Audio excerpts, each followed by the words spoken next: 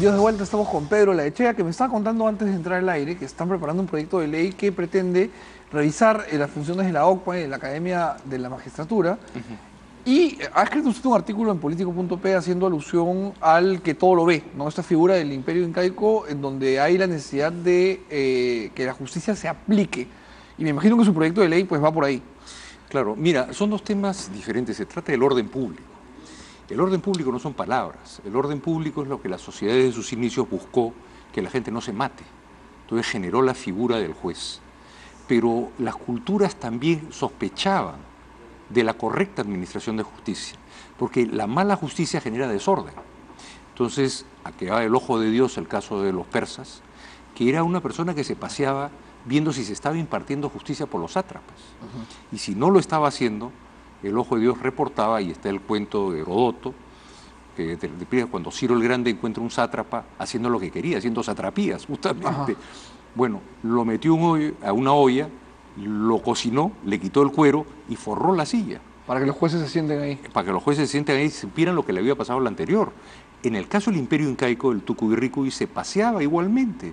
Y cuando tenía que intervenir, sacaba los hilos de la borla real y se identificaba, con lo cual él administraba justicia sobre todo lo que estaba pasando. Entonces era un auditor. Por eso eh, nosotros estamos, yo estoy trabajando con con el equipo sobre finalmente dos pilares importantísimos para la reforma judicial. La OCPA, la Oficina de Control de la Magistratura, de qué forma comienza a ser alguien que se dedique a la calidad jurisdiccional, que no sea un, simplemente un lugar intercambiable de jueces por jueces, cuando sabemos que el problema cultural viene por el compadrazgo.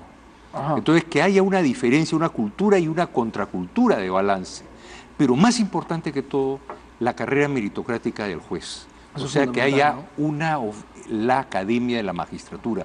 Así como existen relaciones exteriores, tú puedes salir de economista, puedes salir de abogado. Y luego pasa uno a la academia a, la academia de la magistratura, de, en este caso de relaciones exteriores, a donde uno se forma sobre las particularidades de la carrera. Consideramos, yo he conversado con muchos jueces, que tiene que ser una carrera meritocrática, no puede ser de siete años renovable, no, tú comienzas tu carrera y cuando llegas a la Suprema tienes un legajo de vida. Un militar, digamos. Exactamente, a donde has ganado experiencia. Si tú quieres pasar, por ejemplo, de comandante a coronel, tienes que llevar cursos de Estado Mayor, tienes que ir toda tu vida dedicado a este tema. O sea, ser juez es una, es una profesión tremendamente importante y tenemos que devolverle la majestad del juez. El juez tiene que ser una persona referente. Además, Cuando es un pilar de la República, ¿no? Claro, el fiscal, por ejemplo, da lo mismo. Traen a los fiscales a patadas sin zapatos. Un fiscal es el garante de los derechos humanos, es el garante de nuestra libertad, es el garante de una serie de temas que nos da en la vida fundamental. Y por eso ambas personas tienen que ser gente que piense muy bien a lo que se está metiendo. Es como meterte al sacerdocio, a la carrera militar, a relaciones exteriores. Un embajador es una persona que ha hecho méritos constantes durante una vida. Ha hecho méritos para poder ascender de tercer secretario, segundo secretario, primer secretario, ministro consejero, finalmente llegar embajador, alguien que ha respondido a las distintas etapas de formación y está en la capacidad profesional de poder desempeñarse como tal. Por eso eh, la idea que, tengo con el equipo que estamos trabajando y de las consultas que he hecho con una serie de jueces de primer nivel y jueces que son, el Perú tiene jueces que son fantásticos, todos es una carrera que no puede ser cada siete años, no, es una carrera que cuando llegas a la Suprema y eventualmente la Junta Nacional de Justicia va a evaluar quién pasa a la Corte Suprema o va a evaluar decisiones complicadas, no va a ser simplemente buscar pues este un headhunter o alguien que pueda hacer una evaluación psicotécnica, no, aparece un legajo de vida, la calidad de sus sentencias, eh, el tiempo de demora, temas de que él... podría ser eso transparente, de manera que la ciudadanía pueda de alguna forma auditar. Pero la, más que la ciudadanía, ya es el prestigio mismo del juez que lo va a reevaluar. Saber de que cada persona que está llegando a la Suprema es una persona que ha tenido treinta y tantos años de carrera, cuarenta años de carrera, impecable, con las mejores notas. Habrán jueces pues que de la superior de primera instancia a los diez años se le invitará al retiro, que no le da, porque la carrera será meritocrática y como toda carrera en estas instituciones son pocos los que llegan a los a más altos cargos. O sea, es meritocrática y competitiva. ¿Y, cómo podemos hacer para que la futura Junta Nacional, eh, lo que va a reemplazar al Consejo Nacional de la Magistratura, sea un mejor embudo? Porque claro, por más que eh, se impongan eh, una estructura pública de incentivos dentro de la carrera magisterial, si el CNM sigue nombrando, vamos a... Mira, yo, yo, la idea que tenía y lo dije, para mí la, la Junta Nacional de Justicia, en todo caso, debería haber casos de la Corte Suprema nomás. Únicamente. Únicamente, o sea, eh, que se reúne gente realmente que tenga calidades excepcionales para juzgar a la máxima autoridad y después que la carrera vaya calificándose. Tú para nombrar un mayor o para nombrar un coronel no necesitas a los generales, hay todo un proceso que se da. Que funciona orgánicamente. Claro, y la Academia de la Magistratura, tú puedes poner, por ejemplo, como Consejo Consultivo los presidentes de la Corte Suprema que sean parte del Consejo Consultivo. O sea, reevaluar la carrera del juez. No podemos estar sospechando de cada juez y de cada fiscal, la majestad que tiene un juez, o sea, el hecho que llega un juez debe imponer respeto, el hecho que un fiscal llegue donde hay un conflicto, la gente debe sentarse a la mesa y, y el fiscal buscar el entendimiento y el respeto. Hoy día lo han perdido, eso es malo. Tenemos que regresar otra vez. ¿Y cuánto, eh, si es que este proyecto eh, funcionase, nos tomaría superar esta resaca y poder tener una nueva generación de gente que eh, tenga ah, la majestad y que se gane la confianza de la gente? Tiene que haber una transitoria, que va a ser complicada. La legislación transitoria es cómo logras tú llegar a ese momento en que la ley plenamente, por ser preclusiva en el nombramiento, o sea, tú vas a ir nombrando gente que va a ir ascendiendo, mientras tanto a quienes pones. Entonces yo creo que tú puedes ir formando en base a lo que hay, utilizando jueces tal vez mayor, eh, una mayor participación de la Junta Nacional de Justicia. Tal vez una mayor participación en el sentido de ir nombrando jueces de Corte Superior eh, o los presidentes de Corte Superior de provincias. O sea, hoy día el aparato del Poder Judicial es muy importante. Otro elemento que me han recomendado muchos técnicos del Banco Mundial es revisar que no todo se judicialice. O sea, no puede ser el Estado contra el Estado yendo hasta la Suprema o sea, el, administrativo mismo que existe adentro del Estado. Y el famoso contencioso que te lleva a un círculo vicioso. Eh, y que ocupa casi 60, 50% de las acciones judiciales, o igualmente temas que son obvios, un juicio de alimentos. No puede llegar a la Suprema, algunos pretenden llegar inclusive al Tribunal Constitucional. Y si por ello fuera, se van a la Corte de José. Ah, obviamente se van hasta la CIDH o la Haya. Entonces, eso no puede ser. O sea, hay algunos juicios en que la doble instancia constitucional se cumple y suficiente. Entonces, ¿a dónde se establece la doble, la doble instancia? En administrativo, cuando es una municipalidad contra un ministerio, ahí queda. O sea, no puede ser que los temas de corte administrativo entre las administraciones se vaya a estar. No, y además, eh, en el caso que bien ponía usted de alimentos, el bien jurídico tutelado, que es el bienestar del menor, en un proceso que termina durando seis años, pues el menor ya es un adolescente y ya no importa. Exactamente, y ya, ya, es mayor de edad. Claro. Cuando sale la sentencia y es mayor de edad. Entonces, eso quita carga, simplifica las instancias y libera la actitud y el trabajo de los jueces a lo que realmente hace sustancia. Entonces, un juez que se demora dos años en sentenciar, obviamente tendrá su nota, tendrá que el promedio de juicio de este señor, ¿y por qué lo hace así? ¿Tendrá la capacidad? No la tendrá. Sería importante tener como variable para la calificación no solamente el tiempo que se demora, sino la calidad de la sentencia. Porque si es que se demora, va lento, pero saca extraordinaria sentencia, porque se demora. Por ejemplo, sale una sentencia y en la Corte Superior le tiran nulidad, ¿qué significa? Que ha hecho mal su trabajo. O sea, le regresa la Corte Superior a primera instancia y dice, oiga, revise, no está bien hecho. Eso va al legajo. Entonces va a obligar a los jueces a ser mucho más prolijos porque es el ascenso. Entonces vamos a distinguir quién quiere ser qué. Hay gente que tiene la vocación de juez y conozco varios y realmente es un lujo tenerlos.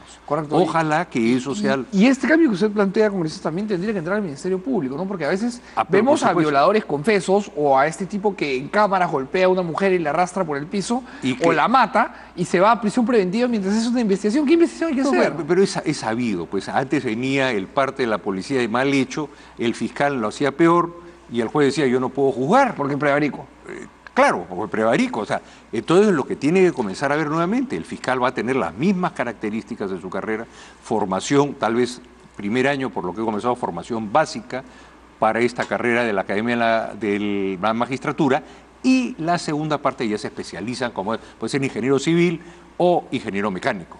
Pero acá lo que es importante es que haya voluntad política y poner un presupuesto.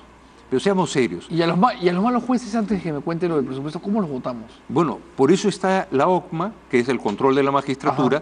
Tú tienes dos temas acá. Cuando hay una sentencia, la sentencia queda. Así esté bien o está mal, será protestada en la instancia superior o en casación. Sin embargo, si ha habido prevaricato, esta OCMA que va a comenzar a calificar este trabajo de jueces y fiscales, lo que hace es muy simple tome el caso y se lo envía al fiscal. Se acabó. y el fiscal la OCMA también tiene un ritmo bien parcimonioso. Es que la OCMA, ¿cuál era el problema? La OCMA hoy día tiene su juez supremo que cada dos años deja la Corte Suprema, va a la OCMA y regresa. Entonces esto es... Hay un espíritu de cuerpo ahí enrarecido. Aparte que pudiera existir, no le da el tiempo para generar una tendencia de trabajo a la organización.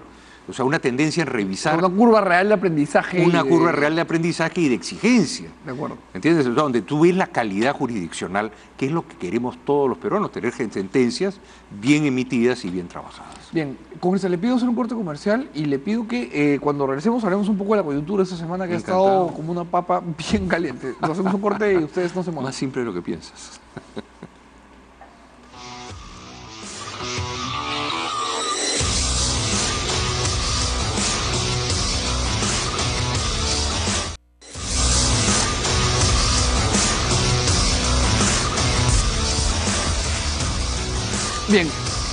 estamos de vuelta con Pedro Leche y yo le preguntaba un poco, después del interesante proyecto que nos ha expuesto, que va a presentar sobre la coyuntura política esta semana, y me madrugó con una respuesta que me dejó la pelota picando para empezar este bloque bien, que es, me dijo, esto es más fácil de lo que parece.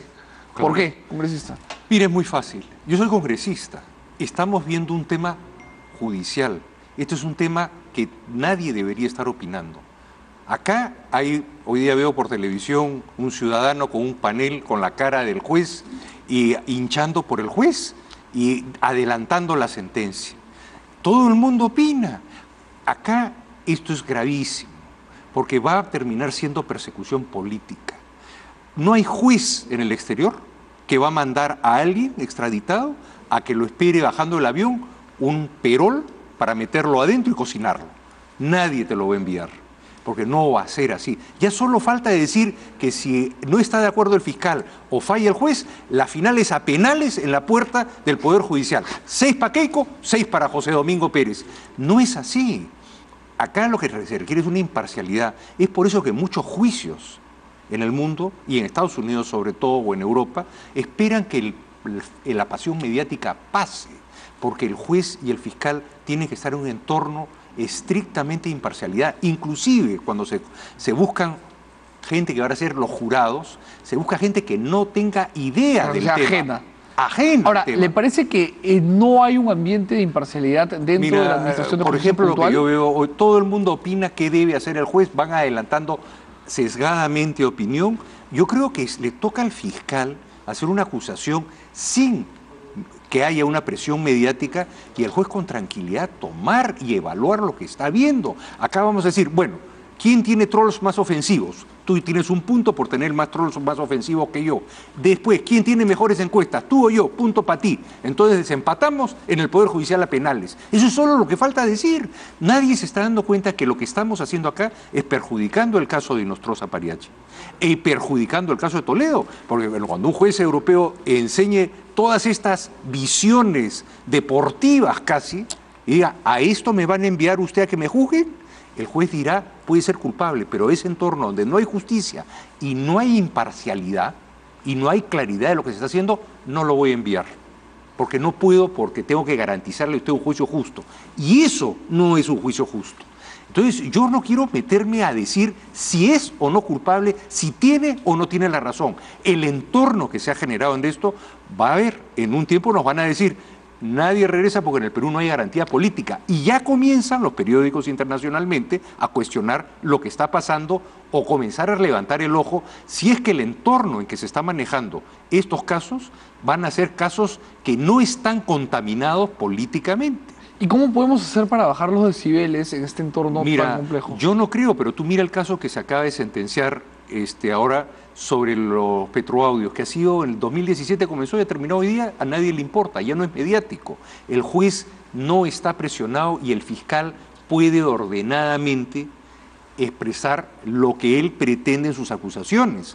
Pero acá, como te repito, ya es más bien quién tiene las mejores encuestas, un punto. Quién tiene los peores troles, el otro punto. Empatan a penales en la puerta del Poder Judicial. Cuidado con lo que estamos haciendo. No hay juez en cualquiera de los países que tiene institucionalidad judicial que van a aceptar a nadie ser deportado a donde no hay garantías.